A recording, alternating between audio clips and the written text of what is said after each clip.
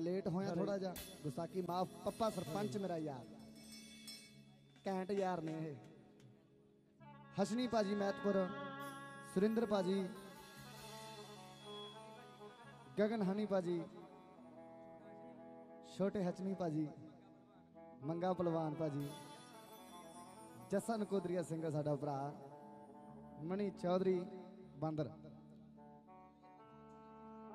ਇਹ ਮੇਰਾ ਯਾਰ ਆ ਘੈਂਟ ਪੱਪੇ ਵਾ ਕਿਉਂਕਿ ਇਹ ਬੰਦਾ ਉਹ ਆ ਜਿਨ੍ਹਾਂ ਨੇ ਤੁਹਾਨੂੰ ਮਿਲਾਇਆ। ਪਹਿਲੀ ਪਹਿਲੀ ਪੌੜੀ ਇਹ ਆ।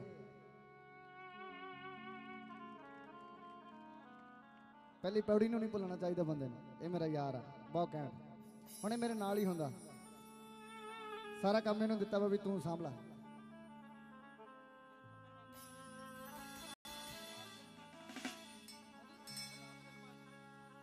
ਪ੍ਰਬੰਧਕ ਮੈਂਬਰ ਸਾਰੇ ਰੌਸ਼ਨ ਭਾਜੀ ਕੁਲਦੀਪ ਭਾਜੀ, ਜਾਪਾਨ ਵਾਲੇ।